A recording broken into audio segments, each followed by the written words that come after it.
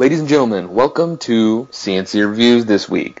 Now, if you aren't familiar with CNC Reviews, my name is Caleb Johnston, and here on CNC Reviews, we basically we review movies, uh, which also again, if you're not familiar with us, they're not like current movies or anything. It's just on Netflix because we don't live in the same hell country. More of us lives, he lives in Canada, I live in the United States, so it's just Netflix is easier. So we'll review kind of older, you know, classic movies, which we're reviewing two classic movies this week.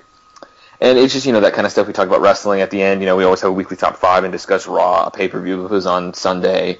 Uh, we also have movie, TV, and video game news, depending on what I've been able, the little snippets of news I've been able to pick up within the last week. Uh, so, ladies and gentlemen, as you know, I'm Caleb Johnston. I'm your main host, and I'm the creator of the show. And I'm, of course, my normal co-host Cameron is still on uh, break from the show, as he has been for about seven or eight weeks now, and I am joined here by my interim guest host and the host of Wrestling with Mac. That is Jamie Lee Mac. Jamie, how are you doing tonight? I'm doing good. And people, we're working, we're working with what we got here. Okay. Okay. We can't, we can't afford to go out and see all these fancy ass new movies. We gotta wait till they're out. We gotta, I mean, we just gotta wait until they're on Netflix. We can only afford Netflix, people. So, like, you know, we can't, we can't just. I don't have a car. Exactly. And you know what? I'm not taking a bus to go see a movie by myself. That's just weird. Then everyone's going to be like, why is Seth Rogen here seeing this movie all by himself? Exactly. You don't see Seth Rogen going to a movie by by himself. Now, if he does, if he does, that's okay because he's Seth Rogen. But yeah, if he doesn't, that's okay too because he's Seth Rogen. But anyways, he's Seth Rogen. He can do what he wants. Exactly.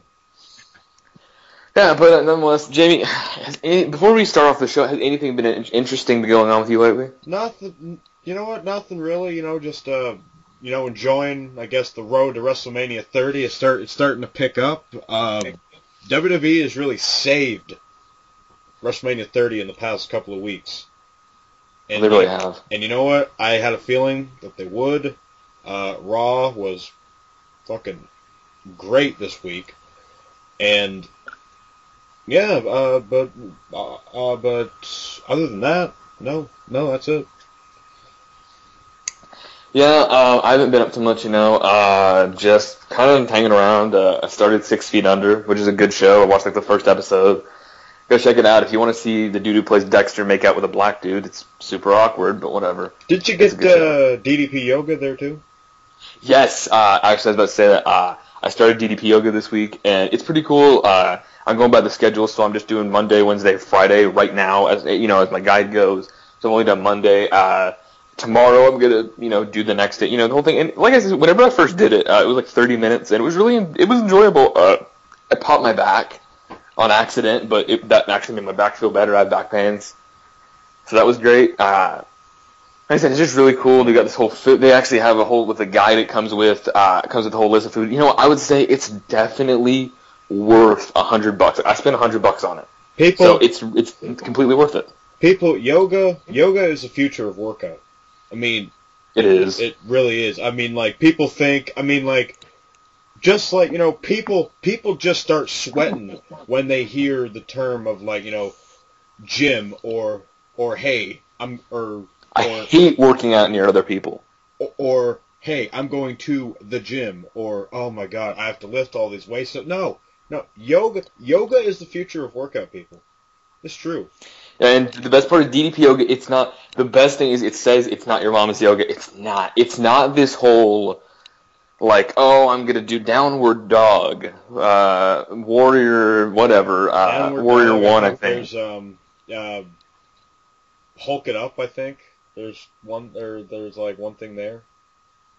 Yeah, there's lots of stuff like that. And then with DDP yoga, it's like it's it's like you know, use your entire body. And then there's the whole like my the workout I did was actually more of a tutorial that you do, and it was just 30 minutes, and I got a good workout of. it. I felt good. Like my back wasn't hurt. My back is more straightened after just one night of doing the fucking tutorial, which is you're supposed to do on the first day. There you go. So if that, I mean, that's fantastic. I don't look like a goddamn hunchback in Notre Dame anymore. It's awesome. It's great. Definitely, you know, if you have a hundred extra bucks lying around and you want to get into DDP yoga is the way to go, man. I'm, I'm swearing by it now. Or, or if you want to save, if you want to save your money, apparently there's like a little promo code from the Steve Austin show and Talk is Jericho. Just listen to those. That I did not use. There's there's some, there's some sort of promo code.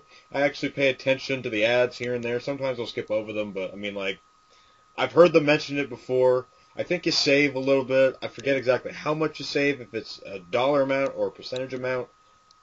Either way, you're saving money, so definitely check out that and save yourself a few bucks and get in shape.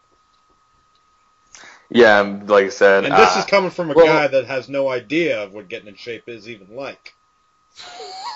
oh my god. Okay. Anyway, uh, like I think it's probably you know uh, we that's basically what we've been doing this week. But uh, now getting into the actual subject at hand before we just start talking about workout regimens. Uh, first thing, of course, we always start with the movie reviews, and the fir- we reviewed two movies. Uh, we're you know whatever. Uh, so basically, the first movie is One of them I did uh, not see, people. Just letting you know now. Yeah, you didn't watch one. I didn't. you I didn't have didn't. time. I didn't watch one. I was gonna do it today, but then I realized, wait a minute, I actually have something to do today, so I didn't get. A Hey, don't worry, Jamie. It's not like Shavage Smirler, where uh, you uh, told me during the show you didn't watch something. I'm a little bit more professional than that. Oh yes, you're very professional. You told me uh, we got on to record and we're talking. You were like, "Hey, I didn't watch it." I'm like, "Okay, that's cool. You were busy. you weren't bullshitting me about how you were up until three in the morning with your dad watching movies." Or, and hey, you didn't watch movie 43 instead. That's all that matters. Yeah, this is true. Ah, movie 43 is so awful. Like we should review movie. We should review review movie 43 without even watching it because I've watched enough of that shitty movie, and we just talk about how shitty it is.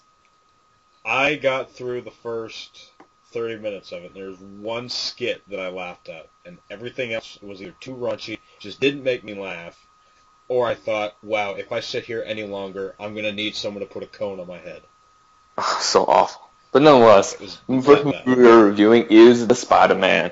Now, Spider-Man, this is the 2002 film starring Tobey Maguire, Kirsten Dunst, and the fucking amazing Willem Dafoe, and also James Franco was there. And okay, I, I'm gonna, I'm not gonna start naming every. Oh, Randy Savage was in it too. That was fucking awesome. Yes. Um, basically, uh, if you don't know what Spider-Man is and the story of Spider-Man, then you had no childhood. Uh, but basically, the story of Spider-Man is very simple. This dude who he's like, well, he's in high school. I guess yeah, he's a senior in high school. Uh, you know, Tobey Maguire, Peter. I'm, I'm, I'm not gonna call him Tobey Maguire. I'm just gonna call him Peter Parker. So Peter's all like, oh, you know, they're doing this whole science thing, and they're at some fucking taking a field trip or whatever, and he gets bit by a spider, and it's like radioactive or some shit, and of course, and basically he become he starts being Spider-Man, like he can shoot out of his hands and Peter Parker stuff. basically found found Peter Parker found the secret to or the secret to steroids. Oh my! He That got spoiled. actually- He woke up and he was buff as shit. Tobey Maguire, he I will give Tobey Maguire so much credit for bulking up in all three movies whenever he had to do that. Oh yeah. Because he's if you've seen any of his other movies, he's a skinny little dude, and then for Spider Man, he just got this fucking he, he worked out like fucking crazy. Yeah, like you know, Toby. Toby actually, he. You know, a lot of people give Toby shit in the Spider-Man series because, okay, this is the part that I've never understood. He makes Peter Parker look like a wimp. Isn't that the fucking point? If you like the thing I hated, those people never read the comics. Exactly. Peter Parker is supposed to be a wimp. Toby Toby Maguire did a fantastic job playing Peter Parker. Now, do I okay? Who do I think is better, Toby or who's the Andrew Gar- new guy that's playing Andrew Garfield? Okay, I prefer Toby over Andrew, but Andrew is still good. People call him a Toby, hipster, but like he's not really a hipster. He's just got like a he's just a modern teenager. That's kind of what they look. He's he, he's just got like a different style. That's it. I mean, like it's a I mean it's a new it's a new generation. Yeah, exactly. And like, So but basically, this I mean, new Spider-Man yeah. thing. Now, this was before Kirsten Dunst became a bitch. And as you know, in the third Spider-Man movie, not only in the movie was she a bitch, but backstage she was a bitch about it, and she was just the bitchiest ever. But Kirsten Dunst was pretty good in this movie. I'm not gonna lie, I fucking hate her, but she wasn't bad at all in this movie. She was actually pretty. I don't know what it was. Just I thought she was. I, I thought she was good. I think she was amazing, but you know she was really good. Uh, some reason, the scene where, despite the fact this movie's PG-13, there's a scene where uh, there is raining and you can see her nipples, which I don't know how they didn't, how Sam Raimi was like, oh, he didn't notice that, but that totally happened. In a Spider-Man movie, Kirsten Dunst actually showed her nipples, so People can ignore that, or some people don't. A lot of people talk about it a lot, but it, just, it happened, and that's basically that. Uh, like I said, you know, basically, the other story is, you know, James Franco plays Harry Osborn, which I thought he was good. You know, I thought he was good. I, I like James Franco. People give him shit, but I like James Franco. Willem Dafoe played the Green Goblin.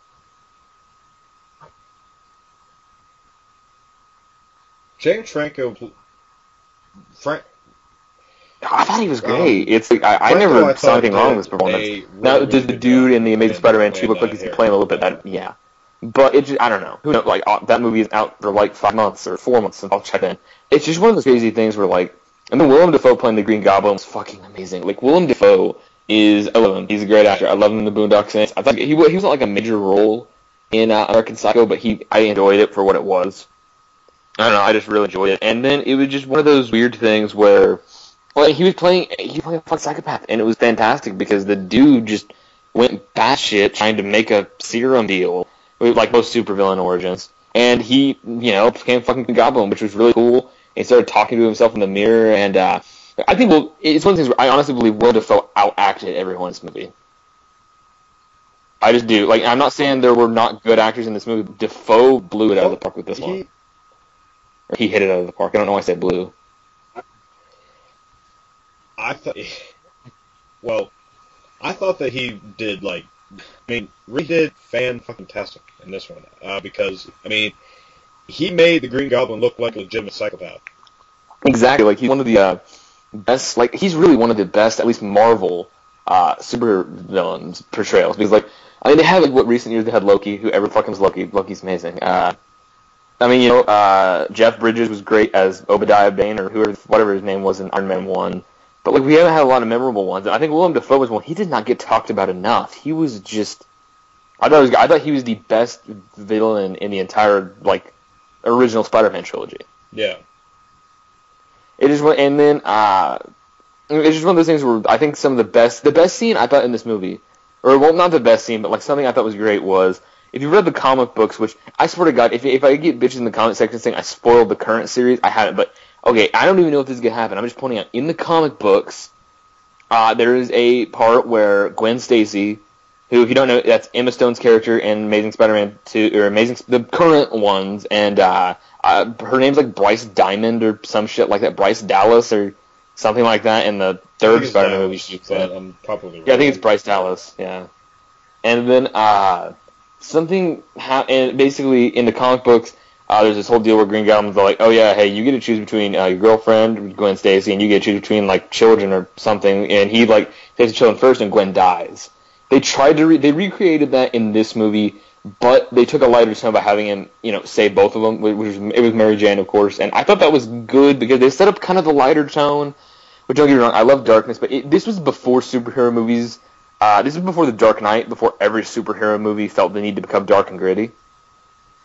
Mm. So this one, you know, and that's just the thing where they didn't feel the need to, uh, you know, kill Mary Jane. Well, you can't Mary, killing Mary Jane off would be make no sense, and they didn't have Gwen. So it's a weird thing. But I thought that was cool how they took something from the comics and they switched it up, and they did yeah. it in a good way. Unlike Iron Man three, where Iron Man three took the comics and raked it.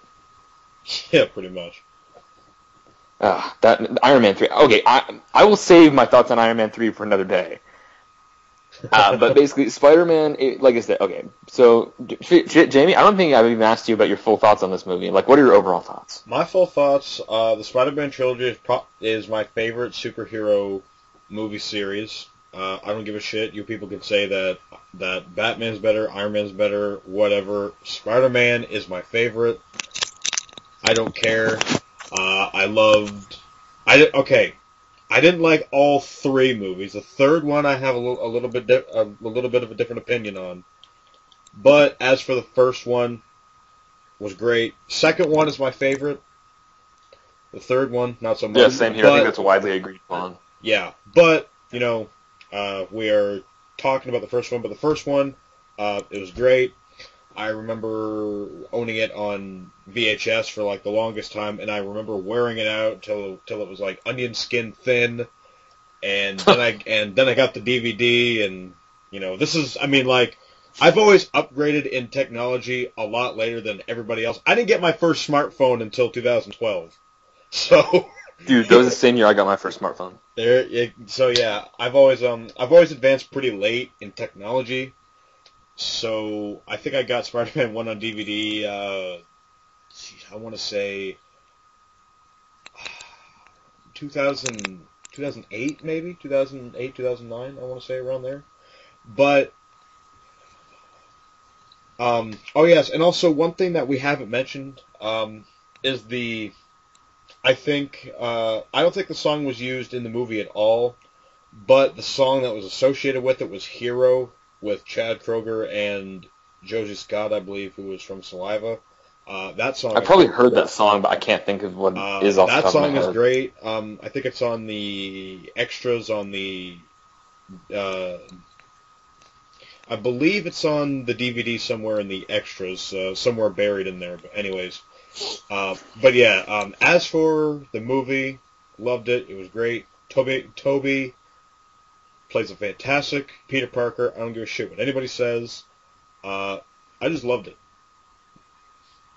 Yeah, I thought it was a good story because they took elements, and I think this is what every shoot superhero movie should do. Is I think they should take elements of the comics, and they should change it up a little bit. Not like Iron Man three where they rape it, but you just take elements and you change it up. Like they took a couple. Like I noticed a couple storylines they used, and they changed it. Like they changed, you know, Gwen Stacy wasn't his first love interest, you know, shit like that. They changed it up, uh, and it's just one of those things where you know the Goblin storyline, all that shit. Uh, he died the same way he did in the comics, and that's not okay. I assume people have watched Spider Man. It's been out for twelve years, uh, so I doubt that's a spoiler at all. And and oh, if it's a spoiler that Spider Man wins, then I don't I don't understand what you people want. Like, what did you expect? Did you expect Spider Man to end with Spider Man being brutally murdered? No, that would make no sense. That would make the children cry. But no, don't get me wrong. He could die. Like, like I mean, it would be no issue with him dying in like the third one since that was the last movie. But not the time they didn't know it. But whatever. Okay, I'm getting too into like sequels and stuff right now, and I'm being weird about it. So basically, uh, Spider Man was a good movie. Uh, I thought it was the. I, I think it's the third best Spider Man movie ever made, basically, because I like the Amazing Yeah. Spider Man, and Spider Man Two was fucking phenomenal. Uh, but like I said, it was fantastic. I loved it. Randy Savage was in it. Bruce Campbell and Randy Savage were in it within five minutes of each other. If that doesn't make you love this movie, I don't know. yes, Randy I don't know what is wrong with being you. in there. Randy Savage, that was Bonesaw is ready. Bonesaw. Oh, that was so awesome. But And- and, I'm and Ah, you know I'm so happy that they never went went with the human spider. Such a stupid. oh my name. god, that would have been so stupid. That sounds like a failed gimmick from the '80s. Like I'm Even pretty though- sure that might have been a failed gimmick from the 80s. even though there was Spider Lady, but that was played by Moolah. But anyways, um, but yeah, uh, I'm very happy that they went with Spider-Man except besides the human spider. That was Basically, Randy Savage had a Hell in a Cell match with Spider-Man. not many people can say that they have. Yeah, man, but Randy Savage, he's the one and only man to ever face a superhero in a Hell in a Cell match, and for that, we give we take a swig of water for the working man. I, I don't know if that made any sense, but whatever. Unemployed man, if you're Kyle. oh my god. Yeah, go watch Wrestling with Mac, people. That, and anyway, that, and that is a quote from Wrestling with Mac, which is also on this channel. Um, every uh, every uh, Wednesday, I believe it's out. So both of your shows come out on Wednesday. I've been involved on two Uh, many main shows. Dude, you have, man. Like That's another story for another day. you- But that, I've yeah, I've, I've You were on four at one point. Ah, that was tiring. I mean, Yeah, it's just, uh, oh my god. and I still have yet to have a sore throat. It's crazy. I've ne- I legitimately never gotten a sore throat from doing shows, and I've been doing it for ten months. I remember at one point when I was on the four shows, it was like, man, like, I honestly think or thought thought of like, you know what, you know what, maybe every Friday I should just take a vow of silence just to give my voice a rest. Uh. Anyway, uh, so Spider-Man, why don't you give it your thoughts uh, out of ten? oh, I loved it. I'll give it a four. No, no, no, no I'm just kidding. Um, um, I'm gonna go ahead and give it a nine. I don't know why it. it I would give it, an eight re- and a half.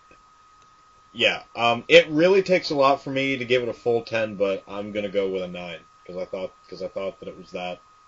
Well, to quote you know who, was that damn good. Oh, quoting the Triple H's. Yes.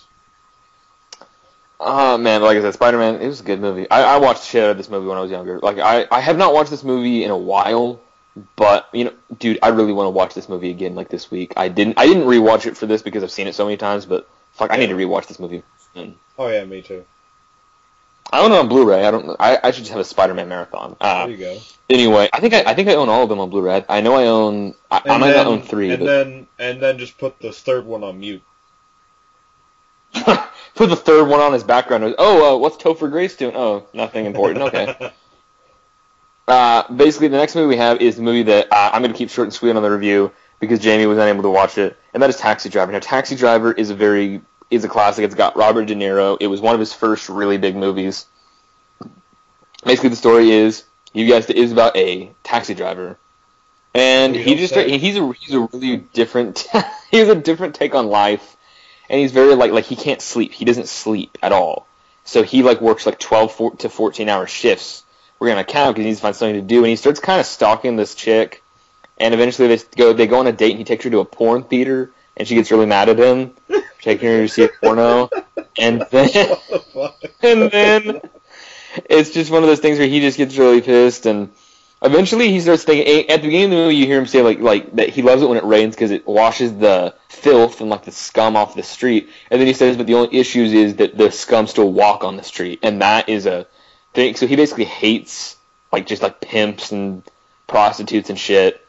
And well, he doesn't hate prostitutes because uh, as you know later in the movie he tries to help a prostitute. And that uh, leads up to the climactic moment and basically, the whole deal is eventually he starts deciding. He's like, okay, so he goes to this dude and he buys a bunch of guns. He buys like I think three, and he starts like arming himself. Like he doesn't wear a shirt underneath his jacket, and he just has these two holsters with these giant guns, and it's just insane. So he's basically like, oh, I'm gonna, you know, I'm gonna bring. Ju-. So he becomes the Punisher, and basically it's just one. You know what, Robert De Niro. This was, the, you know what, to a degree, Taxi Driver is unofficially the greatest Punisher movie we've ever had because the three that have actually been made were utter fucking shit.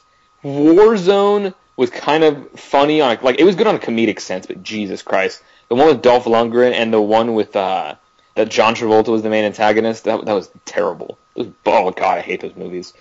Um, basically, it, it's just one of those deals where like it's it's one of those things where like I said, Taxi Driver, the greatest unofficial Punisher movie ever, and Robert De Niro. uh, The granted, he only like okay. I don't know if this is a spoiler, but whatever. You know, I guess mute your thing. But uh, if it is a spoiler, then whatever. Uh, he only kills like five people in this movie, and it just went- it's just one and so he starts helping this prostitute out, and he's all like, hey, but basically, okay, uh, I'm going to basically explain my thoughts on it. I thought this was a fantastic movie. It's my kind of movie because this movie didn't need to start off with a giant explosion in the beginning. It, it took about 20, 25 minutes to really get set up, and basically the story it told was fantastic. It told the story of this dude who is obviously not only is he an insomniac, he is clearly psycho. He's a psycho. He's a fucking psychopath or a sociopath. You know, he's more of a psychopath, and he just he's obsessive and weird. And he just decides, hey, I'm gonna kind of like you know uh, start you know because he's like, hey, if people won't really clean up the streets, then I'll clean up the streets. Uh, and it's just crazy, and in the end of it, you know, he's considered a hero because of everything, and it's crazy because like I said, it's just one of those weird things. Like this movie was fantastic. About De Niro, this is the best I've ever seen from De Niro. Like, mm, yeah, pretty much. Like, don't get me wrong, I love the Focker movies, but that was he wasn't really acting. He was just, you know, he was acting in a comedy role. This movie, he was acting to act, and it was fantastic. And it was young De Niro, so he didn't have his distinct voice because this movie was made like 40 years ago. One of Martin Scorsese's first, and like it's just amazing. Like Martin Scorsese is an amazing director. Like The Wolf of Wall Street is amazing. He has so many amazing movies. Uh, you know, like I said, Taxi Driver. You know, if you get the chance, watch this movie. It might not be the movie for you, but hey, if you want a movie that'll really just interest you, you'll see kind of inside the mind almost of what a guy who has no, he has literally nothing. Like he he works 12, 14 hour shifts, goes to the porno theaters, then goes home and kind of just does whatever. And he just does all he does because he can't sleep and he's really weird and he has the most awkward conversations with people. It's just hilarious. It's it's a great well, uh, it's unintentionally hilarious, but this movie, it, is a fantastic movie. If you like I said, you get the chance, check out Taxi Driver. It really like I I've heard about this movie forever, and I finally just sat down and watched it today, and it's like holy shit, this movie is really something. So like I said, you get the chance, I recommend it. I give this movie a nine out of ten. You get the chance, definitely like watch it on Netflix, buy it on Blu-ray, do some. It's worth it. It's worth watching. Fantastic film. So it's worth the stream. It's worth my time. Yes, it is completely. The hour and 50 minutes of this movie is worth your time. All right. I'll check that out at some point. Like as you know, I didn't do any spoilers uh, really, like as much, like a little bit, but like you know, because I didn't. If you ever decide to watch the movie, I don't want to completely spoil it for you. Yeah. But nonetheless, now we are going on to the news, and the first news is movie news. Now we don't have a lot of news this week. We have no TV news, and half of the movie news I had like seven stories. Two of them I had to cut off because they were actually proven wrong, which made me pit, uh, pit, that pissed me off. Uh, one of them I took off because I didn't think it was worth talking about in the end. And plus, today we got two more stories that I think they're basically one story, but they're intertwined. So I thought, hey, what the hell? So movie news. First off, we have a very interesting story, and this story is that in 2016, this around like the same time that that Batman Superman movie comes out, which is early 2016. Captain America 3 is already confirmed to come out in 2016 around the same time that that happens. Uh, they have not revealed what the title will be yet, but that will come, I guarantee, within the next, probably next year. Uh, next year at Comic Con, I guarantee you. So the, and basically, the whole deal with this is it looks like it's gonna be the last Captain America. That it looks like it's gonna be the last movie that Captain America's in. So they've confirmed the third movie. So have they confirmed like who's going to be playing the characters? Uh, we know. Okay, Chris Evans is confirmed to still be Cap, so this is gonna be his last movie as Captain America. Oh, okay. Uh, I assume Samuel L. Jackson would be in it.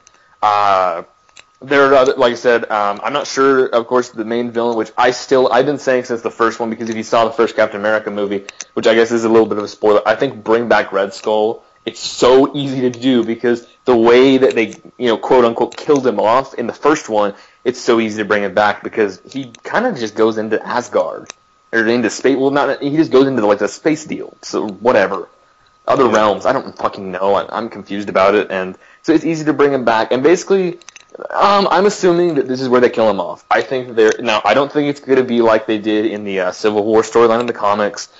But basically, because Chris Evans wants to retire, I think they're going to kill him off, and I think they're going to replace him with the new Captain America. And I would love to say who would. Okay, basically, I'm going to say the same thing I said. I think uh, either last week or the week before when talking about movie news for Captain America. I think it was last week. Okay, basically the whole deal is this. Okay, I know what they're going to do. I think they're going to kill him off, and then they're going to bring in this other dude who is the current Captain America in the comics. You know what I'm talking about? Fantastic. If not, if you don't want to know, then don't look into it. If you want to know, then if I, re- I would look into it and just look up who the current Captain America is, and you will see why it makes complete sense. Uh, like that's all I'm gonna say. Like I said last week, he's a guy who's already been in the movies. He's not a superhero or anything, but he's been in the movies. So, you put two and two together, I'm sure you can figure it out.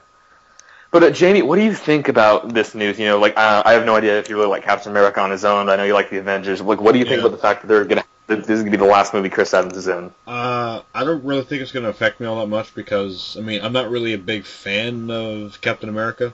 I mean, it's not because I'm Canadian but I just never really, you know, yeah, I mean, I've just never, um, I've just never really been drawn to Captain America. So for Chris Evans, you know, this would be his last um, go around. Uh, again, doesn't really affect me all that much. Um, of course, you know, this may cause like a rift for some fans because, I mean, you know, you know, you know, people people are going to identify Chris Evans with Captain America.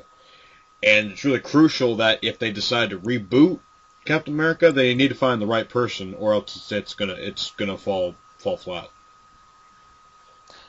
The thing with that is, I get the thing is, as long as they just re they change, as long as they, if they go by the comics with who Captain America is currently, they'll be just fine. If but if they try to recast someone as Steve Rogers Captain America, there's gonna be a problem yeah. because they're gonna be like, oh, this is the same as Chris Evans. They need to. There's the easiest way to kill him off and do like I said, just bring the. I I really want to say, but like people get pissed off with spoilers and they're like, oh, I was spoiled with this movie because they don't know about the comics, so it's it's a it's a sticky situation where I want to explain why I think why this is perfect, but like I said, you want to know why I think this. Look it up. It's really, really like I said, it's a fantastic idea, especially with this new one coming out because I think they can set they can set up they can set it up perfectly in this one, Avengers two, and then finally in Captain America three, which is untitled, which what the subtitle is going to be. Uh, it'll be like I said, I think it's gonna work out great. Yeah. And uh, basically, uh, that's really all our thoughts on it. Like I, I guess uh, there's not really much you can talk about. Just Captain America three. Yeah. Uh, but basically, the next movie news, which really came out of this came out of fucking nowhere, is I literally just saw it retweeted onto my timeline. Uh, it was confirmed that Pixar has confirmed that they are making The Incredibles two and Cars three. So they Uh. confirmed an Incredible sequel ten years after it came out, which pisses me off. Now I don't know. I don't really know. I mean, if they get Samuel L. Jackson back, I'll I'll, I'll watch it. Why not? So, I love Sam Jackson. yeah. Um. But Cars, I don't give a shit about Cars three. I don't. I, I just I don't at all. Yeah, Cars. Um, Cars has never been really like. Uh, I mean, like I've seen it, but I mean, it wouldn't be in like my top five. Um, but but yeah, as for Incredibles two, I enjoyed the first one. Uh, the second one, it's going to be interesting. Uh, I probably will see it. Um, you know, like I, you know, they've really been messing around with movies that don't that don't need sequels lately. I mean, like, yes, they I, have. I mean, like, I know Space Jam 2 was uh, was was completely shot down, but just lately they've just been messing with movies that don't need sequels. So, Incredibles 2, Plus, it's ten years after it came out. yeah, 10 years, and like, you know, a lot of people may jump on me because, well, Toy Story 3 came out 10 years after Toy Story 2, but yeah, but that's fucking different. There's a reason Toy Story 3 Because came they out 10 made years the story for it. Exactly. They had made the story. Plus, the guy who voiced Slinky died, so they had to recast him. I actually didn't know that. I believe um, he died uh, 2000. I believe uh, 2000, 2001. I think. Well, shit. Yeah. I never saw Toy Story three though, so I actually like I can't even say if that was good. Oh wait. Wait, wait, wait, wait, wait. You haven't seen Toy. So wait, you haven't seen seen the third one. I, I haven't gotten around to it yet. It's been four years. I still haven't gotten around to it. I watched the first two though; those are really good. Caleb, what are we gonna do with you? I don't know. You know, if it comes to net, is it on Netflix? Um, I don't believe it is. No. Well, if it comes to Netflix, then I will watch. I got the box set. You know that friggin' like Toy Story 3 10, 10, 10 disc Blu-ray pack that came out? I got that for Christmas one Oh shit! I was pumped. I have that. I'm so happy I have that. Toy Story is my favorite kids Disney Pixar series. Basically, it's my favorite animated series of all time. Is Toy Story. And the third Oh, it's one of mine too. I loved it growing up. and the third one, third one had me in tears. Third one had me in tears. Not gonna lie. But um, anyways, as for the Incredibles, uh, I really don't think it needs a sequel. But if they think it's gonna work, then you know, give it a shot. Um, Get Sam Jackson back. yeah. Uh, honestly, I'm not really as you know, and like, all right, this is like the first time I'm hearing this news. I did not know that the Incredibles two was was actually confirmed. Like, I had no idea. And Yeah, I like I don't tell you about the news before we record. exactly, and I really don't. I'm really not all that excited about it. Eh, I'm I'm not like I would I I would be if this was like maybe like Finding, Do- 2009. Finding or- Dory, I'm excited for Finding Dory. I'm not. I don't. It's another one. Like I don't see why they're making a sequel ten years later. Finding Nemo was so good. Finding. Oh, I'm not saying Finding Nemo was fucking the sh- it was the shit. I love that movie, but Finding Dory, I think, is going to. I be don't good. know. But as for the, I don't think the Incredibles were really all that iconic to really get a sequel. You know. I I think they are. It's been ranked in like the top ten superhero movies ever, I would. and it's one of like it's supposed. It's one of the most well received uh, Yeah. superhero I mean- movies too have never been based on comics. I mean, like, like, all right. I'm not saying it was a bad movie because it wasn't. It was really good. I liked it. I, I really, I really, really enjoyed it. But as for a sequel for it, I don't think I'm all that. I'm not all that crazy about it. Yeah, it's just I'm not. It's not something I'm gonna be really excited about. But like, hey, if I get the chance to watch it at some point, I'll probably check it out. I like the first one. Yeah. What is it? Hey, so get Samuel L. Jackson back, and I will watch that movie no matter what. He's not going to be cursed. then I think that's pretty much. He's not going to be ah, Oh, cursed. yeah, I know, It's but it's Samuel L. Jackson. movie. It's a children's movie. He didn't curse in the Avengers either, but it was still fucking awesome. then we go to video game news, and the first video game story is gonna make Jamie squeal with excitement. if this, if that, I Because swear to God, if this, if this is about fucking Batman, I don't give a shit. I've said it the past two Dude. weeks. I don't care. Dude, that, okay, this, we're, we don't have Batman news this week. okay, good. All right, then what is this news that's gonna make me friggin' squeal? Because okay, and people, just just just as a reminder, I have zero knowledge about any news that Caleb tells me. He says, "Hey, we got movie, game news, whatever." I say, "Okay." He doesn't tell me anything about. it. So this is like live reaction. That is exactly what happens. This is like live reaction. All right, so what is it? Okay, the movie, the uh, movie, okay, this is the video game news. Gaming news. All right.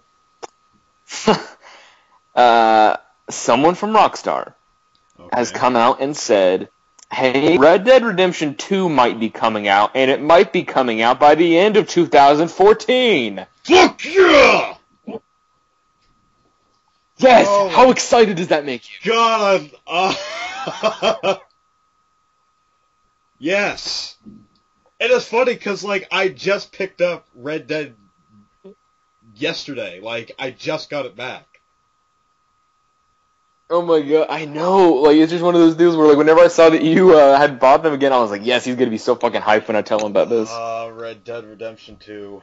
I'm just Ah, Red Dead Redemption is my favorite game of all time, so that's why I cannot wait for a sequel. Red And Dead. it's you know it's not confirmed. It's a rumor, but like Red Dead Redemption 2 is in the works. But the main rumor is that it might come out by the end of this year.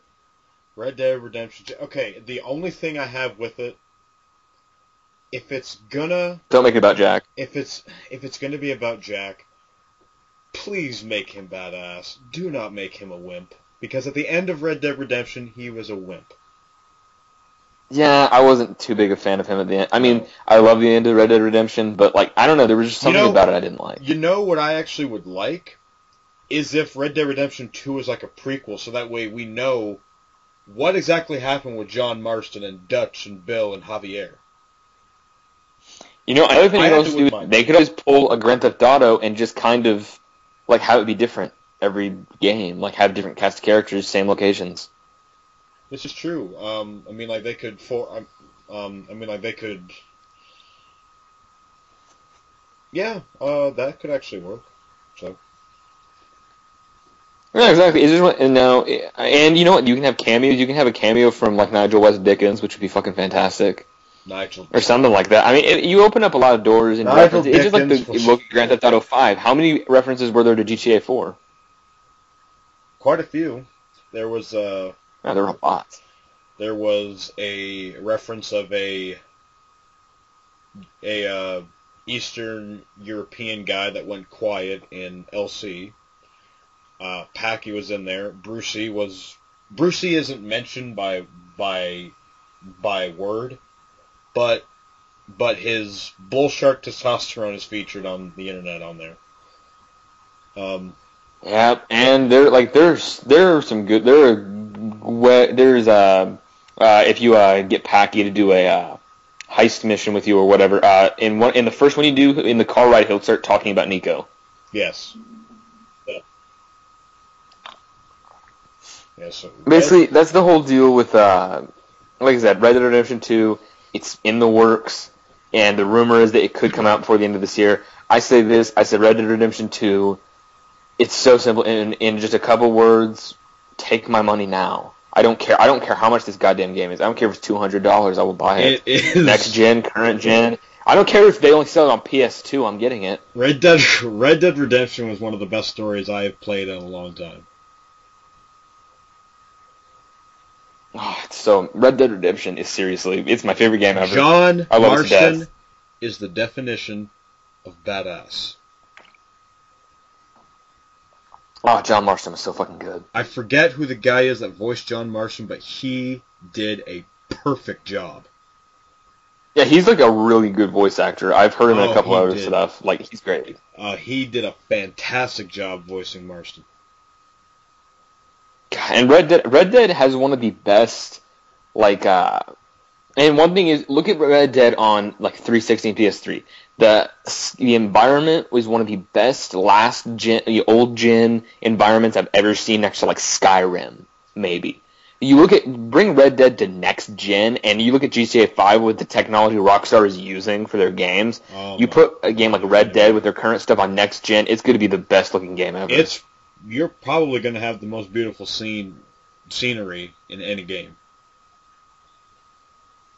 Exactly. Like, I say the most beautiful scenery I've ever seen in all the as far as the old gen. I can't speak for the current gen, even though I played like about four games on it. I can't really speak for like majorly. But old gen, best three games: GTA Five, uh, Red Dead, and Skyrim. As far as how beautiful the environment was, two of those are Rockstar games. Rockstar knows what they're doing when it comes to environments, and uh, what they could do with next gen. I can only imagine how fucking good that would be. They're probably seeing dollar signs everywhere. Oh yeah, they could make so much money off. it. And oh, uh, this is something that it's kind of unofficial, but there's also a rumor that they're going to re-release Red Dead on next gen. You know what? That just might convince me to go next gen. That just might convince me. That should convince you to go on ne- to get Oh, uh, next God. gen. Oh my god! It, like I said, it's just fun. It's awesome. Yeah. And then the other video game news. Okay, I said we didn't have Batman game news this week, but this isn't really Batman news. Okay, it, okay. Basically, it's okay. Basically, it's about what these guys are. The studio is going to do after the Arkham games are over. Uh, once Arkham Knight has been released and whatnot, uh, and you know it's done. They're not going to make any more Batman games, but they are. Their next game they have in mind is the most random game ever. And Jamie, you probably have never even heard of this thing in the DC comics, and that is the Suicide Squad. I honestly, you know what? I honestly don't think I've ever heard of that. I only know what they are because of Smallville and Arrow. If I had never watched either of those, I would not fucking know what the hell the Suicide Squad was. Uh, for, I, I think that episode of Arrow this week is actually called Suicide Squad. It's just one of those weird things where Suicide Squad. It's got a. lot- I mean, it's got. It's a very unknown team, but for the most part, they've got uh, like the people in it, like Harley Quinn, uh, Bane, Deadshot, Deathstroke, uh, people like that. That's basically, yeah, and, you know, and I think that's cool and everything. So basically, I have no, there's no news on what the fuck this game would be, but that's just they, they're just thinking about making a Suicide uh, a Suicide Squad game basically. And I'm not, like I said, I have no idea. I don't know if it would be like you can switch around or. I have no fucking clue what this game would be, but that's just the news. There's a Suicide Squad game possibly in the works to be the next project for that whole studio after uh, Arkham Knight comes out. That's basically that. Take that what that take that for what it's worth. I don't know. I'm not too excited for it, but hey, maybe once I see some gameplay, I can get excited for it. Yeah, yeah, I think that's all we have for video game news. Jamie, do you have anything left to say about video game news? Red Dead Redemption 2. That's all I got. Yes, exactly. Uh, then basically that's all of our media news, and now we are moving on to the wrestling. And before we talk about Raw, we have our weekly top five. Now, weekly top fives are you know wrestling related most of the time. I think we've always done wrestling related. I just always like to say most of the time. This week was top five greatest gimmicks throughout history. So basically, gimmick. What basically gimmick for those who don't know, I don't know why you wouldn't know, is the character, what your character is about. Kind of it leads to what you're doing, and your it, you know it affects your performance. It's all that stuff. So basically, it's your character. A gimmick is your character. So uh, Jamie, I'm gonna let you go first with your top five. Alrighty, people. So my top five gimmicks. Now, for number five, a lot of you people are going to be surprised that this is on here. Muhammad Hassan. Oh, I didn't even think of him. I, for those of you that don't know me, Muhammad Hassan was a fantastic character. He's a guy, Arab American. He was hailed. He was hailed from Detroit, I believe, and and um, you know WWE was you know trying to garner some, um, you know I guess trying to garner some mainstream attention from the whole thing, you know, with Iraq and the war and stuff. So they create so they created this character, Mu Muhammad Hassan. His theme music was great. The manager that he had was great. Uh, the guy could talk, and the guy could wrestle too.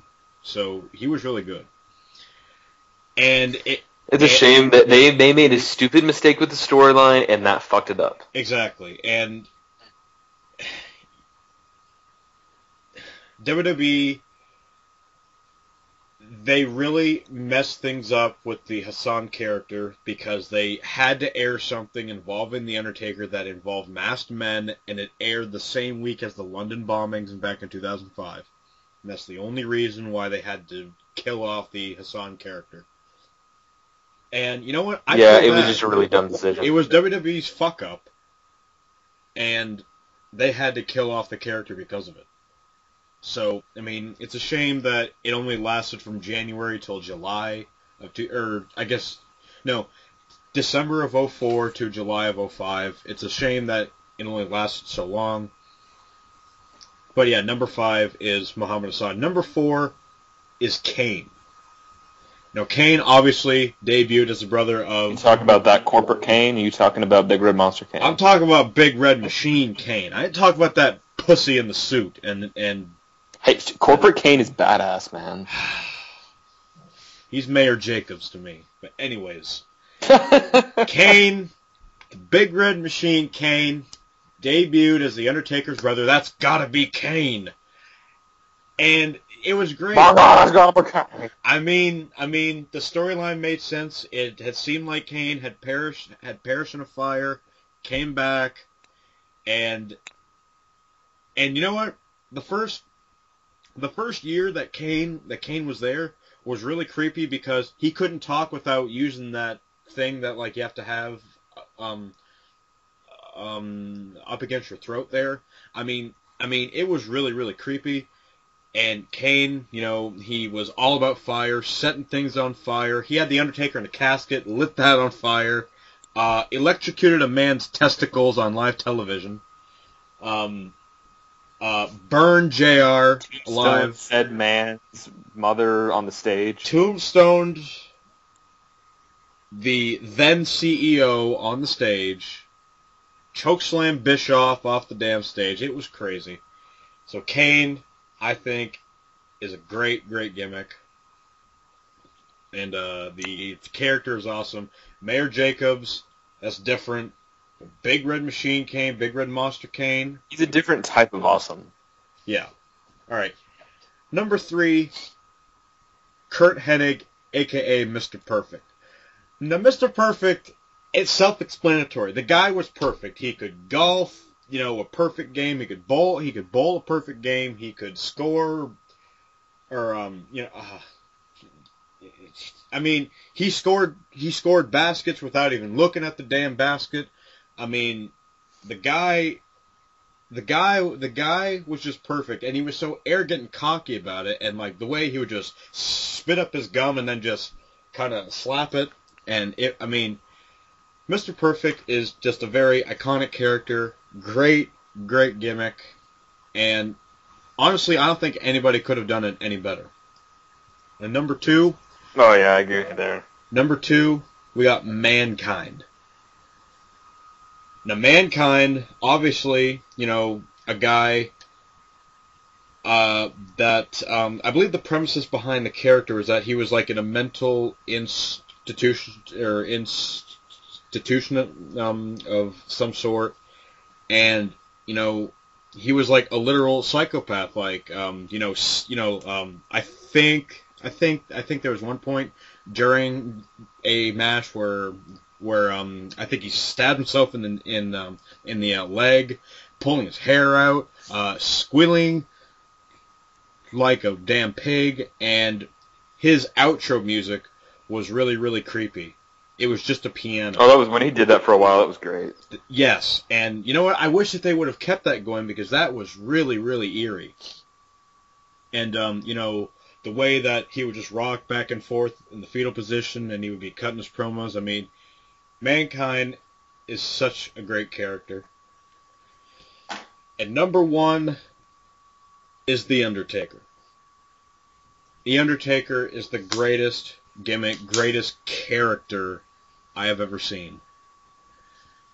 The Undertaker, he is the dead man. He is an iconic character the guy who has like mystical powers, can shoot lightning bolts on the stage, in the ring. CGI um, lightning bolts. Yes. Um, you know, buries people alive. He had the whole urn thing, caskets. I mean, um, the character is iconic, undefeated at WrestleMania, 21 and 0. I mean, you like I really don't think that they, you know, I really don't think that a gimmick is ever going to top the character known as the Undertaker. And that's my top. Makes valid points. My top five for this week is very simple. Now, number five, oh, top five greatest gimmicks. See, a gimmick, a gimmick is something important. A gimmick is something you can get a shitty gimmick like Los Matadores or Santino. You can get a great gimmick like some of the guys that we were mentioning in your list. Some of the guys that could be mentioned on my list. Number five on my list is Mankind. Mankind is a fucking fantastic gimmick. But like you said, it was a mental war. Basically, the original concept for this character was that he wore an iron mask and like have a straight jacket. Of course, they kind of basically Mankind was basically uh, based off of Hannibal Lecter, if you really think about it. Mm. so it's like, hey, if it wasn't for Silence of the Lambs, which is one of my favorite movies ever, we might not have the Mankind character. And it was just fantastic. Like everything about it, Mick pulled it off so well. Like he would be insane, like you said, stabbing himself in the leg. Mind Games was such an intense, crazy match. Everything he did as Mankind was just fantastic. From yes, from insane heel Mankind to uh, Rock and Sock connection. Even though he kind of the Mankind gimmick kind of became Mick Foley as it went on it was still at, at its peak. It, this gimmick was just fantastic. It's slowly, everyone, I, whether you hate it, whether you loved it or hated it, it was it made you think something. He slowly like transitioned in, into Mick Foley. Yeah, exactly. Uh, like, and basically by and by 2000, he was Mick Foley. Yeah. Because I believe his last pay per view ever as Mankind, as an active wrestler, was Armageddon 1999. He really because Taboo Tuesday 2005 he did face Carlito man, as Mankind, but yeah. Uh, as, uh, as, far as an active competitor who competed on a weekly basis, final pay per view teaming up with The Rock against the New Age Outlaws Armageddon '99. Uh, and okay, so then number four, this is one that I don't think gets talked about enough, and that's the Brood. The Brood had a great gimmick.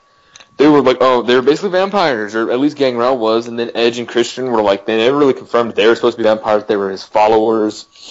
Is Gangrel Joe Carroll? Uh, that's a, if you get that reference, you get a gold star. Uh, but basically, the whole deal with that is they were they were just awesome and badass. They had one of the best entrances I've ever seen, like coming through the fucking up through the flames. That was fantastic. Just this, you know, this gimmick didn't go far enough. Like I think I think they were together like a year, not like maybe less than a year, and they could have gone so much farther with it. But you know, if they had, we might not have gotten the awesome Edge and Christian tag team that was hilarious and great. So, you know, take it for what it's worth. Uh, number three is the Iron Sheik. Iron Sheik, much like Muhammad Hassan, Iron Sheik. Not only does he break your back and make you humble, uh, he his gimmick was fantastic because he was the most hated heel in his prime. I mean, when he was WWE champion, those people wanted to fucking kill him. And when he was with Nikolai Volkoff, they wanted to kill him even more. But his gimmick was that he was from Iran, which he which he is. He's originally from Iran, and basically he's just an Iranian who he's completely he hates America and like oh America, puh, you know all that great shit. Iron Sheik just got that. he was one of the most hated heels of all time, and he just got the fans to fucking hate his guts.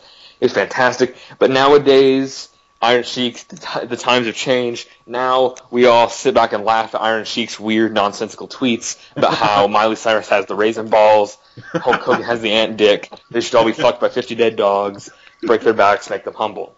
Well, Iron Sheik, fucking fantastic. Number two on this list is The Undertaker. Who's number one?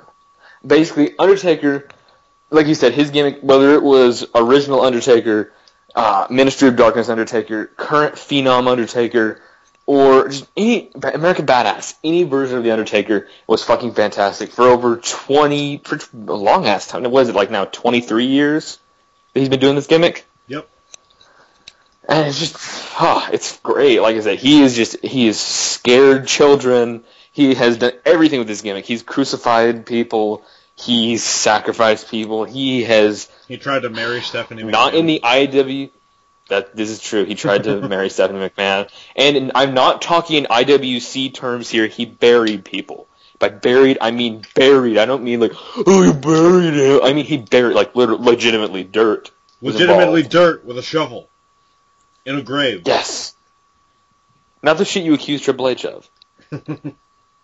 Uh, it's just yeah, like Undertaker. He was fantastic. He's just one of the most iconic wrestlers of all time. One of the most iconic gimmicks ever. One of the most loved gimmicks ever. But he's not my number one. Now, number one, you must be thinking, who can number one be? There are so many great gimmicks, Caleb. Who would your number one be? Is it Curry Man? Could it be Curry Man? Could it be a real man's man, Steven Regal? He's a man.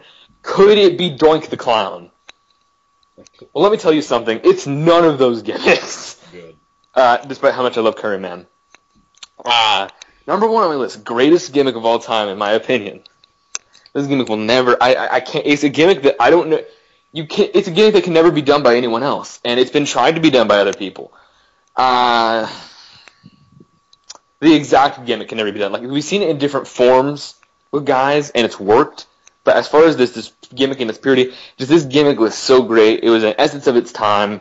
And it came it came twenty this gimmick like was so early and at the time in the eighties people were like, Oh my god, this gimmick is insane. I hate this dude. Oh, I hate him so much. You see where I'm going here? Because let me tell you something. You see, I can't really put a price on who my number one on this list is. You, you can't put a price on it. But the number one gimmick of all time, in my opinion, is the Million Dollar Man, Ted DiBiase. This dude was fucking fantastic. Everything about him was fucking awesome. Jamie, you really liked my little like segue into that with the Yeah, price I deal, did. didn't As soon as you said you can't really put a price on this guy, I'm like, oh my, g- I know exactly who he's talking about. Now, this isn't just because I've been doing my whole marathon of starting uh, watching every pay per view from WrestleMania one on. But dude, I've been I've loved DiBiase for the longest time. DiBiase is fantastic. Whether it was making a small child bounce a basketball and then disappointing him and making him just cry, or making a young Rob kiss your sweaty foot. Million Dollar Man would humiliate the audience. He would humiliate the wrestlers by shoving hundred dollar bills in their mouths. Oh my god, it was just and that's Didn't not he healthy, man. pay- That could have been in a strip Didn't- cooch. Didn't he pay the lifeguard to like shoo away everybody that was like at like the public pool, so that way like the pool was all his? Yep. And let's not forget, DiBiase also, look at the people he had around him. Virgil, who Jamie has a history with Virgil.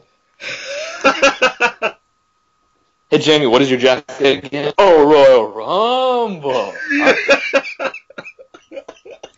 Uh, then we, you know, IRS man, Million Dollar Man opened up so many doors for so many great characters, except for his son, because his son tried to become him, and that didn't work. Was...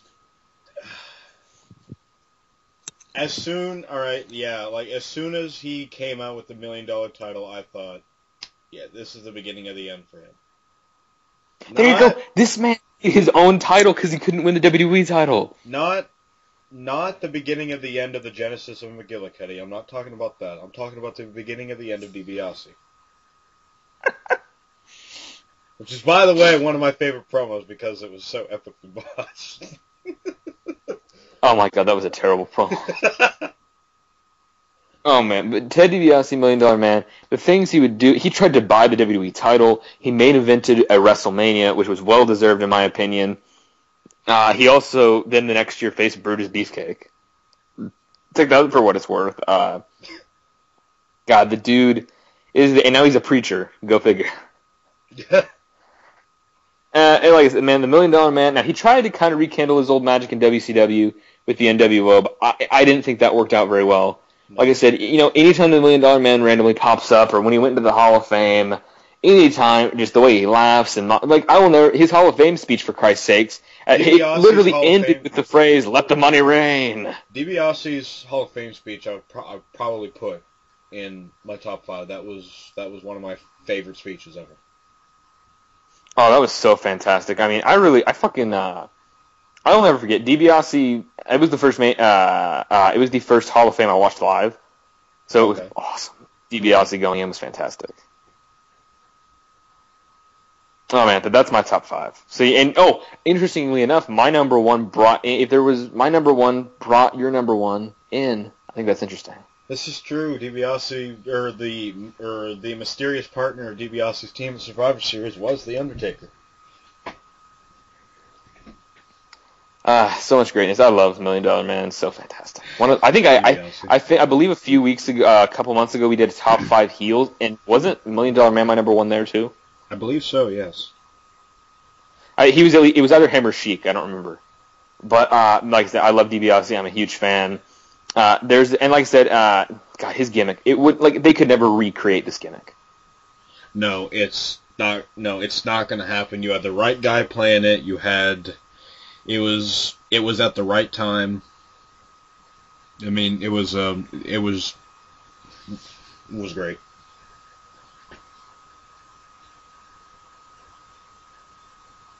Yeah. So. Uh, moving on. Yeah, I mean, yeah. Okay. Moving on. Uh, that is our top five for this week, and now we've got our Raw discussion. But there is Raw.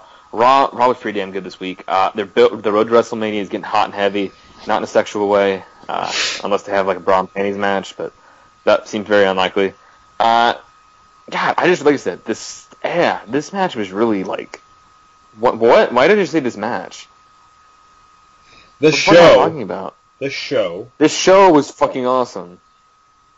It was. You know, um, the build. You know what? These past two weeks, they have really saved Mania.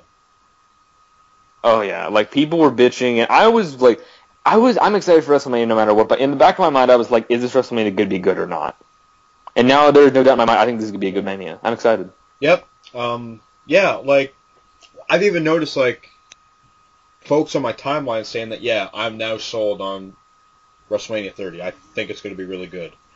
And these same people just last month were complaining saying WrestleMania 30 is going to be the worst show is going to is will be like the worst Mania of all time. And honestly, I don't think anything could be worse than 9. So I don't think that. no. God, there were there were some shitty ones. There were some shitty ones. yes. Look at WrestleMania four. That was awful. 4 9 um 11 Two. 2 uh 27 was bad, but not the worst. yeah. Um, basically, moving on to the actual Raw discussion. So we opened up with the the game, Triple H. Now, Triple H, as you all know and love, well, as you all, for some, me and Jamie love. As you Jamie, all Jamie, know, he's your favorite of all. Yes, Hunter is my number one favorite of all time. Uh, it's just, uh, so basically he comes out and is talking about WrestleMania and whatnot, and then I believe, is, did Batista come out first or was it Orton? I believe it was Batista. All right, so Batista came out, and Vince Orton came out, and they all started arguing about how, oh, you know, with Daniel Bryan is, is the triple threat match. It's like, you don't think I can beat Daniel Bryan? And they're like basically really putting down, you know, like, oh, Triple H can't beat Daniel Bryan, and it makes Triple H all sad. And then he's like, you know what? If I beat gonna- Daniel Bryan, I'm going to be in the title match instead of him. There's going to be a triple threat match at WrestleMania 30, and you know something like this has never really happened before. I mean, like besides the tournament from four, um, Uh, 10 to a degree because we had Yokozuna versus Luger yes, uh, for the WWE title, where the winner would defend against Bret later that night. yes, this is true. But um, but you know, with that being said, it hasn't been done for a while. It's been 20 years since then. Oh yeah, it's been a long ass time. Yeah. Like double duty at WrestleMania isn't something that people are used to anymore. It used to be like, oh, especially at WrestleMania 4, Savage had four matches. People, people in people in this day and age are lucky enough to even get on the card, let alone do double duty on the card. Oh yeah, exactly. And Daniel Bryan is going to be because I know some people are like, oh, Triple H is going to bury him. Nope. Daniel Bryan is winning both matches at WrestleMania, folks. I guarantee you, it's what they've been building since SummerSlam. Yep. It's going to happen. Yep. Uh, and you know what, people? This is where your patience finally pays off. It all started at SummerSlam. Or lack thereof. Yeah. Started at SummerSlam. Bryan Bryan has been going through uphill battle after uphill battle after uphill battle, and now he's finally getting a shot at WrestleMania. Duke main event in WrestleMania, which is hey, the best part about this is it takes the spotlight off of Punk because Punk was originally supposed to face Triple H, and now Daniel Bryan beating Triple H and winning that triple threat match is going to make his title win that much sweeter. Yeah. Oh, which which which by the way, speaking of Punk, maybe we should just mention how you know he was on Talking Dead. Oh, week. he was on. Uh, okay, I don't watch The Walking Dead. I don't care, but I checked out The Talking Dead, and he was he literally called himself Phil Brooks. Like his thing said Phil Brooks. Yes. And as much as I've lost respect for him within within within the past month and a half or so, I will say this: CM Punk, Phil Brooks, whoever you want to call him, looks a lot better. Yeah, he looks a lot less stressed out. He looks he he looks like he's been sleeping. Yeah, because there's one thing I've always noticed is Punk. I don't think he sleeps very much when he's on the road. Nope. And you know what? Now, and you know what? If the Royal Rumble this year is the last we're ever going to see see see a CM Punk, at least at least he's doing better. At least at least at least it looks like he's really enjoying himself for the first time in a while. And whatever, no matter what I think about him taking his ball and fucking off, you know, I guess it is nice to see someone enjoying themselves. So whatever, uh, whatever he's doing, I don't really care. But you know, Yeah. yeah, there's that. So then, uh, I'm trying to think. Um, so yeah, the opening segment, you know, uh, oh, Batista got RKO'd, went backstage, and said, "I don't know why I came back." And then yeah, that happened, which set up for Daniel Bryan versus Randy Orton in a no disqualification match, which is Daniel Bryan versus Randy Orton part 25. and that, oh, it was actually a really good match. But um, The kendo stick I is the new like steel said, chair. so let's. Oh yeah, kendo stick is the new steel chair. Um, basically, we got some useless stuff like Goldust versus Fandango was the closest we got to useless. Like I don't understand why that match happened. I will say this: the beginning of, the, of that match actually did make me laugh because Goldust was, you know, like Oh, that was hilarious. like you know, like you know, in doggy fashion, like you know, just going up to Fandango and just freaking him out. This was, that is everything. I've always loved Goldust. I love him. He's kind of in a more serious gimmick now with his in this tag team. But hey, you know what? I still like comedic Goldust was great. Oh so yeah. you know, there's that. There's that like that match. Uh, that's all I can really say about that match. You know, uh, the Real Americans beat the tag team champions, the Usos, in tag team uh, in tag team action, of course. And uh, like it was a really good match, and it looks like the Real Americans, if they split, looks like it's either gonna happen at Mania or after WrestleMania. So I'm assuming at this point that, and I don't know what you think about this, but it looks like we're getting at WrestleMania. If I had to guess, Usos versus Real Americans versus New Age Outlaws versus the Rhodes Brothers. Which honestly is a match I wouldn't mind seeing because you know, again, it gets a lot more guys on the card, card, and then that way you have all those spots left to fill up for the battle royal. Yeah, that leaves a lot of tag teams out of the Battle Royal. Exactly. And I think, um, and really, the only tag team that's in the Battle Royal at this point is Rybaxel. Oh yeah, that is true. And then I guarantee you, Los Matadores and 3MB are going to end up in it somehow. Oh yes, McIntyre, Slater, and Mahal will all will all somehow be in there. Uh, you know what? You know what? I can even see Torito being in there at some point. Oh yeah, you know he's going to be in it. Yeah. And um, yeah, and um, oh yes, and also uh, the storyline with the Shield and Kane. Who exactly knows where that's going? Okay, so basically, Kane came out and accused Jerry Lawler of starting of helping Bryan with the Occupy Raw deal, and then the Shield came out and they acted like they were gonna attack Jerry Lawler. I almost said Jambalaya. In my head, I almost said Jambalaya. I don't know why. um, but then they kind of just turned face or tweener, or and they attacked Kane. So the Real Americans, I can I see the direction they're going in, where they're probably gonna lose at Mania and then beat the shit out of each other. Real the Americans. Shield, what the fuck Oh, are they okay, yeah. doing? Sorry, um, I thought. Yeah, like but the up. Shield, I have no idea what they're doing. with the Because Shield, they literally just I, last week were acting like they were gonna break up. I think. Uh, I actually think turning them face is a good idea because you know it buys them a few more months. Yeah, but I mean, I, I've, I'm just saying, I really wanted to see them have a triple threat match at WrestleMania. Yeah, but um, I don't think uh, I don't really see that happening at this point. Um, They don't have time to build it now. exactly. So, if anything, um, I think actually someone told me on Twitter saying that um, that uh, they think it should be the Shield versus Kane and the Ascension. Uh, that I don't see happening. Uh, No, they don't have time to bring them up in two weeks and give them a WrestleMania spot. I, um, I mean, like, I wouldn't, you know, I would be okay with it, but you know, again, there's only there's two Raws left until WrestleMania, and you know, you can't just bring up a new tag team like that and say, yeah, these guys. Honestly, I see all four. I see. I think they're gonna have the Shield and Kane go into the WrestleMania Battle Royal.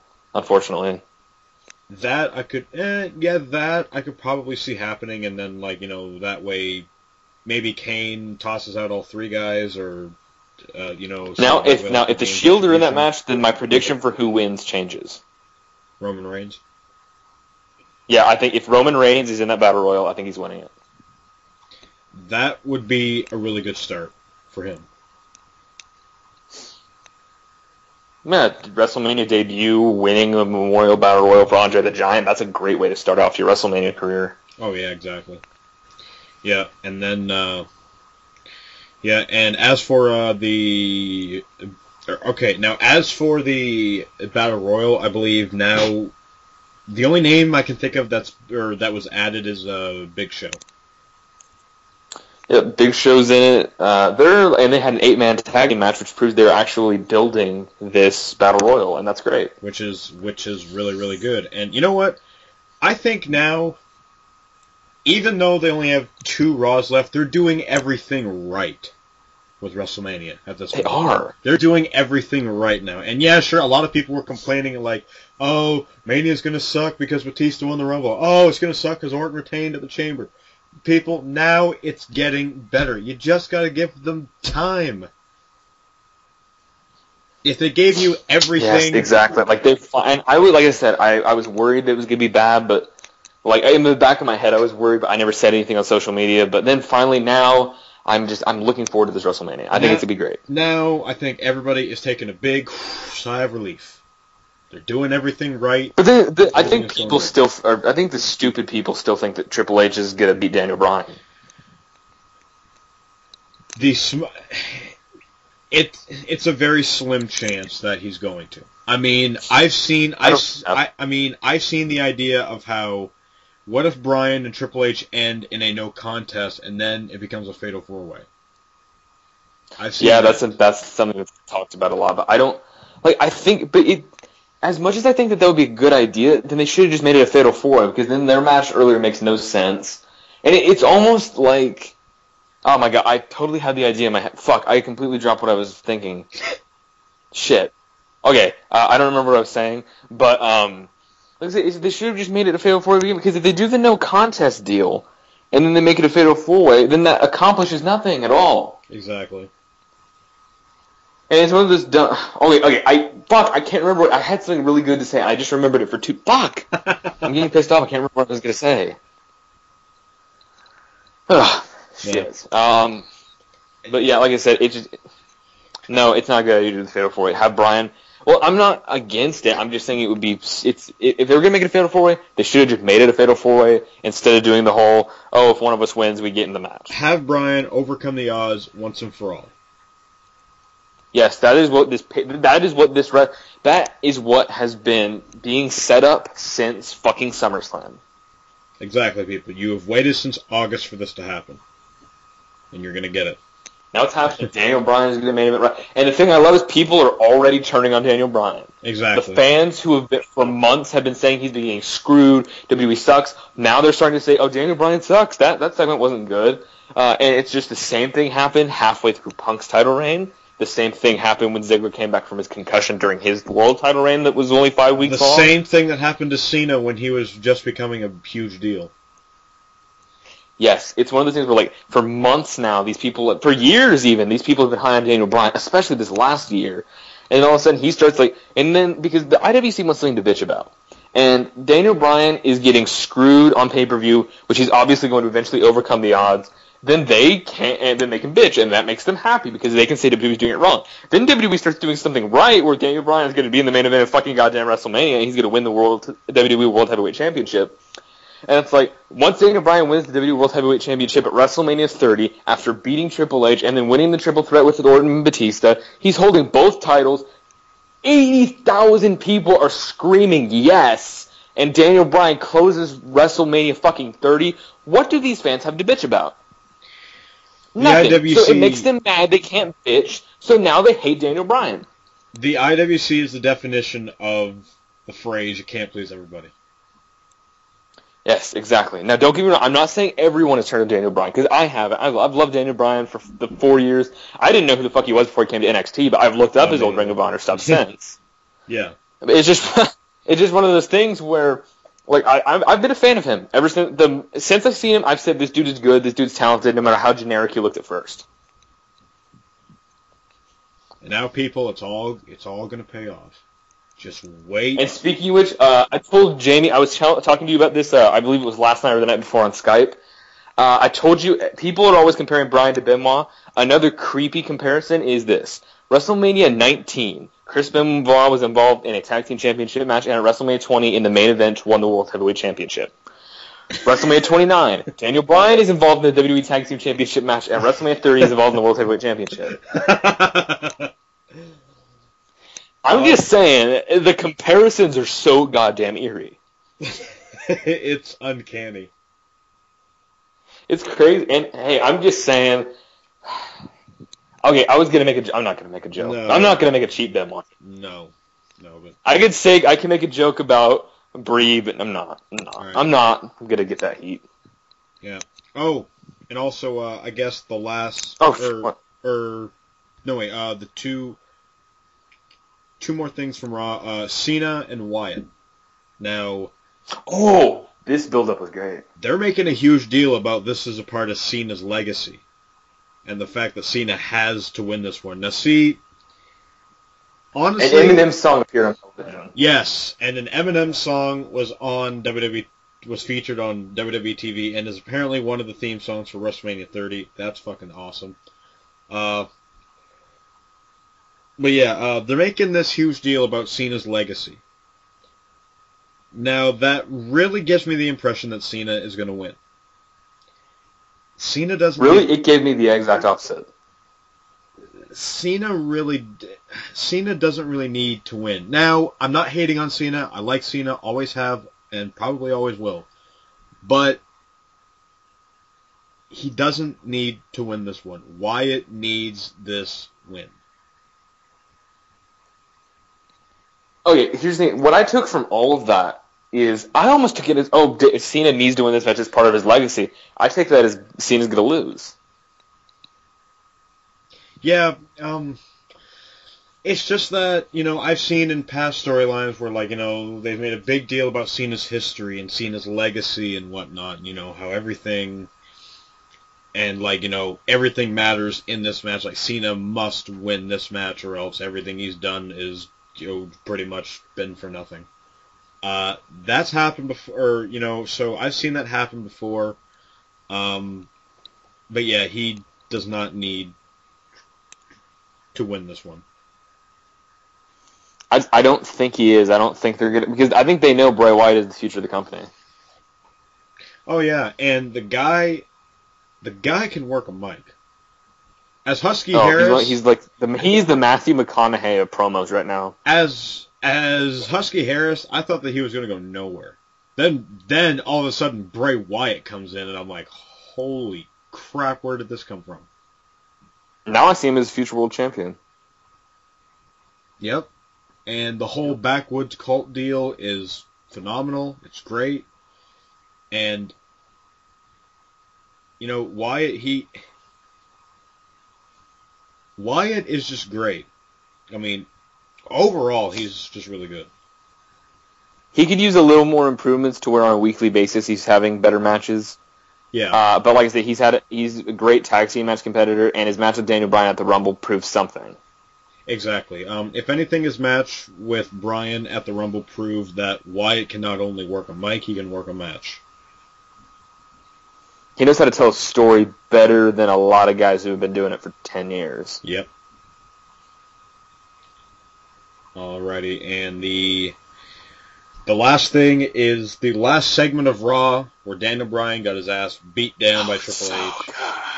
This is how you build up a was so story. this is how you build up a story, people. This is how it's done. And everybody's saying, and I swear, the people that are saying that Bryan buried, you know, buried is probably one of the most annoying words I've ever heard. Yes, it is. Bryan did not get buried in this segment, folks. You know, you know what he did? He got his ass beat down in a segment. This It's gonna happen. this all I mean, if anything, this proves that Bryan is going to come back, rise up from the ashes, and kick the holy hell out of Triple H. Exactly, and Yeah. some people don't see it as that for some reason. But this, I mean, it was a good ten minutes of Daniel Bryan getting his ass whipped by what it felt like old Triple H, and that's the thing that was so good. It felt like like mid two thousands Triple H. He the shit, and for the fake, finally eh, they said these aren't even real cops because they, Stephanie had those guys go out to arrest Bryan. And it's like no, these guys aren't real cops, and it was all work. Uh, wh- which of course, in which that's what wrestling is, but yeah. like the whole storyline was that like oh Triple H and Stephanie tricked Bryan into thinking there was problems there, and then they just ah they just beat the shit out of him. And Stephanie slapped him, and Daniel was screaming, "You hit like a girl." He was handcuffed. We got a pedigree with the handcuffs. Triple H then ripped off his shirt, and him and Stephanie made out for a second over him. And then Triple H just grabbed the microphone and screamed, "Our ring!" Oh, and I don't rem- or, I don't remember what else he said, and he was like all My about ring, shit, and it was just ring, fantastic. Our, our place or something or whatever. But uh, yeah, it was. Uh, yeah, it was fantastic. it, you know, and it was great. And people, for those of you that are saying that Bryan is buried again, if anything, you are giving what WWE wants. You are giving them a reaction. That's exactly what they want out of you. Yes, this is one of the best, most well-built feuds I've seen in a long ass time. If you don't react, then WWE knows that they did something wrong. But because you're reacting, Yeah, exactly. they know they're doing they're doing a good job. And people were legitimately concerned in the crowd. They were like, "Holy crap! I can't believe Daniel Bryan." Hey, Bryan is Jamie, Jamie, guess what just happened? What? Jamie, guess what just happened? What? On Twitter, I got added to a list called TV Junkies. I don't know why. Oh, oh, Who this Bob Goodman? I've been added Whatever. Anyway, back to what you're saying. I'm sorry I interrupted really- you. Yeah. Oh, this is the second time this week I've been added to a random list. Oh. Yeah, but um, but yeah. So, anyways, uh, Daniel Bryan, Triple H, they're building they're building this up right. This is this is this is going to be great. And you know what? I am now really excited for Raw next week. Oh, I am too. And plus on SmackDown, we're getting John Cena versus Luke Harper, and Luke Harper is a pretty damn good in-ring worker, so I think that'll be a good match. Oh yeah, definitely. So yeah, um, overall, I thought that Raw was a really good show, and uh, yeah, and yeah, that uh, that Yeah, Raw was fantastic. Uh, like I said, it was just one of those things where I enjoyed the hell out of it the entire time. It was one of it's, they, they've been so consistent, like for the what second or third week in a row. yeah, Yeah, third week in a row, they've been extremely great and extremely consistent. Road to WrestleMania is finally picking up, and I think WrestleMania 30 is gonna be a damn good show. WrestleMania 30 will definitely be a really good show. Now, uh, now, uh, Yes, it will. And now uh, we are kind of at, in the closing moments. So uh, basically, guys, we had a good show. Of course, uh, just a quick recap before we do our plugs. Spider-Man, great movie. You should watch it. One of the best superhero movies just ever. It was fantastic. Taxi Driver, amazing movie. Watch it. Uh, you know, we heard that Captain America 3, you heard my ideas. They should, you know, they're probably going to kill him off and do the whole thing they're doing currently in the comics. Uh, Incredibles 2 is happening, you know, whatever. Get back to Samuel L. Jackson. Cars 3, who gives a shit, really. Uh, Red Dead Redemption 2 if, is in the Red works. Dead it comes out at the end of this Redemption year. I will be a happy Caleb. Uh, and then we've got uh, a Suicide Squad game. I don't think anyone cares about that either. but whatever. Uh, and then we got the top five. We you know top five greatest mix. That was both of our thoughts. We had a couple of the same thoughts on them, but you know it was different. And then Rob, Raw was fantastic. It's building up WrestleMania really well. All of the rivalries had somewhat. You know, every single rivalry had build, and I think that's the best thing. Even though Paul Heyman is kind of carrying this Lesnar Undertaker feud, still Yeah. making people excited for it. Yeah. All right, so um, Anyway, uh, let's get our plugs done. So James, why don't you go first with your plugs? Uh, if you want, you guys can follow me on Twitter at Jamie Lee Mac, and also um, uh, do not forget to like, comment, uh, subscribe to e- to YouTube.com forward slash EVTV Production. You can check out C&C reviews. Wrestling with Mac is up there. We do some random videos here and there. Caleb does his uh, his random reviews of TV shows, movies every now and then. So definitely check those out. Yep, True Detective Review is on the channel. Check that out if you've watched it. And I'm going to be starting a three-part series, which I plan on recording tonight. Three-part series that is reviewing all three seasons of American Horror Story thus far. All right, and uh, and yeah, that's it from me. Uh, just don't forget to subscribe. YouTube.com forward slash EVTV Production. And you can follow me at the Awesome Clark. Follow my backup account at Caleb Clark J. I don't know why it's called that. That's not even my middle name.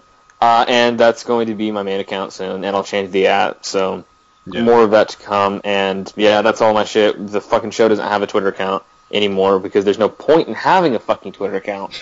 And like I said, uh, you know, uh, you can subscribe uh, youtube.com forward slash EVT pre- EVTV production. And there's that. Watch Wrestling with Mac. Uh, watch C&C reviews here every week. We upload on Tuesdays. Watch my solo reviews. Watch our topic videos, which we've only done one of, and we get off track when we try to record them. uh, so that's all, ladies and gentlemen. Thank you for your record for uh, tuning in to C&C reviews tonight. Uh, I am Caleb. That is Jamie. And well, it could be morning when you're listening to this. Whatever. I'm Caleb. That's Jamie. Uh, thanks for listening. I hope you guys had a fantastic time, and be sure to tune in next week. Uh, and we're signing off. Goodbye. All right, see you later, folks.